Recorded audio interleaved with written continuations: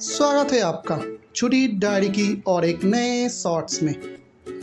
और आज हम लोग घूमने वाले हैं Padmaja Naidu, Himalayan zoological park, Darjeeling. यहाँ की एंट्री फ़ीस है एक सौ दस रुपया।